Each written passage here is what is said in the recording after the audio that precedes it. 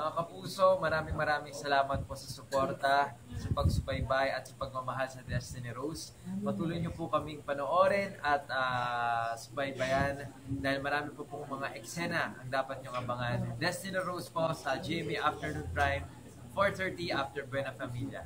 Salamat po, maraming salamat.